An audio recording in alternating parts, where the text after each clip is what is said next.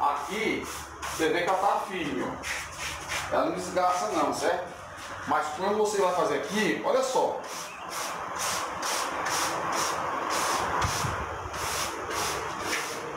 Olha, ó. Areia, toda assim, ó. Olha aqui como é que tá ficando aqui já, ó. E na pedra.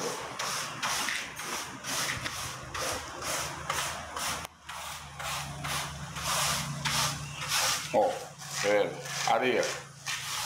Essa é a realidade. Aí eu conversando com o cara, o cara, não, se você botar uma C2 aqui, dá certo.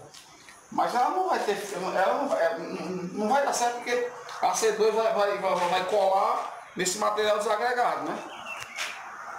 Fala meus amigos do YouTube, tudo bem pessoal? Sejam bem-vindos a mais um vídeo aqui no canal Speedwork Informática.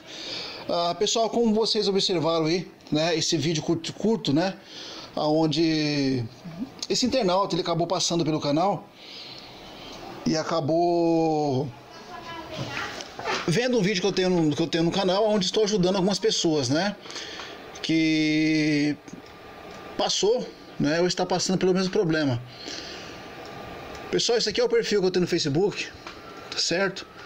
E caso vocês queiram, todas as fotos são públicas, são quase meio milhão de fotos, tá bom? Para vocês acompanhar o canal aí e acompanhar também o meu, perfil, seguir, tá bom? Você pode escolher a opção de seguir para você poder aí é, conferir né, fotos diárias. Uh, pessoal, eu estou fazendo assentamento, conforme você pode observar aí, de um porcelanato tipo régua.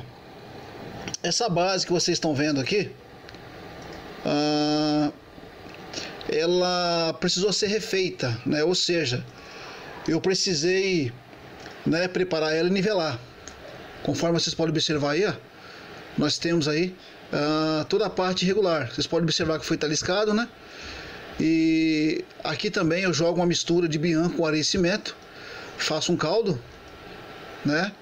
E aí depois a gente joga essa massa, ela é compactada, ou seja, socada, e depois é desempenada. Tá certo? Alinhadinha, tá vendo? E toda essa massa é desempenada, tá? E aí, tá vendo? Pessoal, tem um detalhe, o que que acontece? As pessoas elas estão errando muito, né? Errando muito na hora de você preparar essa massa. Por exemplo, aqui, ó. Eu tenho aqui comigo essa mistura. Aqui como é que é feito isso daqui? Eu tenho aqui, ó, dois carrinhos. Você pode fazer até com oito latas, dois carrinhos meio de areia, né? Um saco de cimento 50 quilos. E aí você faz a massa do tipo farofão. A água tem que ser colocada ah, aos poucos, tá? Obtendo que? Obtendo aí um, um, um, um farofão, né? É assim que chamamos né? O que que acontece? Uh, essa massa ela não pode ficar mole não pode ficar dura. Se, se ela ficar muito mole, você não consegue alinhar ela, nivelar. E se ela ficar muito dura, você pode ter problema. O que ocorre na maioria desses casos, né? Onde as pessoas uh, estão fazendo esses procedimentos errado é o que? É na hora de preparar. Outro dia o cara falou para mim que tinha feito um, uma massa, que o pedreiro fez a massa que a massa dava ali, é, colocou cinco carrinhos de areia e um saco de cimento. Não pode, tá? Então eu recomendo que seja feito o quê? Oito latas de areia grossa ou peneirada, né? No caso, areia média, peneirada, né? Junto com areia grossa. Areia fina não. Primeira jogada, primeiro cimento com areia, é misturado, tá? Duas ou três vezes até você obter uma cor uniforme, ou seja, somente uma cor. Tá? Não pode ficar areia no canto e cimento no outro.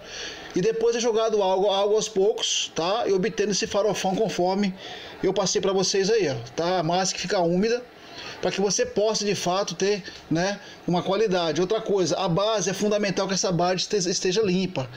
A base não pode ficar de forma alguma é, com areia, né, não, não pode ter nada que venha impedir. Tá? O problema dessa massa soltando areia, conforme a gente viu no vídeo aí, é o que?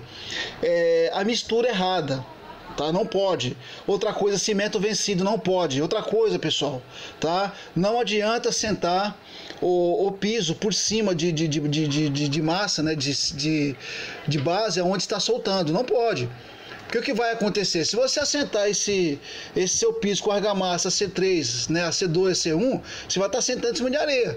Não importa a argamassa que você venha utilizar, a argamassa ela, ela, ela vai aderir na base. Se a base ela não está permitindo essa aderência, ela vai acabar soltando. Então isso aí é lógico, é fato, não tem o que fazer.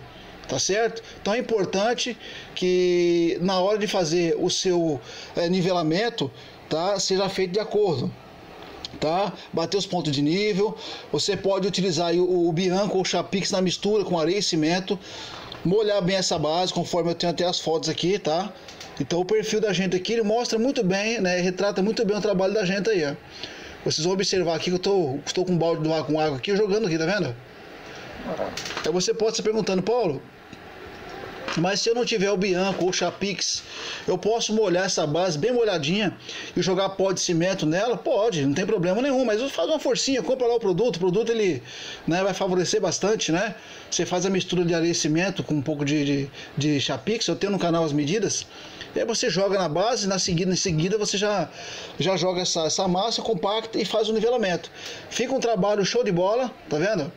Aqui é só guardar aí pelo menos 72 horas para você sentar o piso tá? Aí você pode utilizar argamassa de acordo né, com o piso que você pretende assentar aí, tá vendo? Esse é um trabalho que a gente deve apresentar, tá bom? Mas nunca faça o assentamento de do seu piso por cima dessa areia, tá? Não vai funcionar, nunca funcionou e com certeza, se você fizer isso, você vai perder né, todo o seu material, tá bom? Então essa é mais uma dica para você que acompanha o canal, tá ok? Caso você tenha alguma dúvida, alguma sugestão, entre em contato comigo através do WhatsApp, que com certeza eu farei aí, né, um conteúdo bacana, lhe darei uma resposta em cima do pedido. Valeu, gente, um abraço, fui e até os nossos próximos vídeos. Tchau, tchau!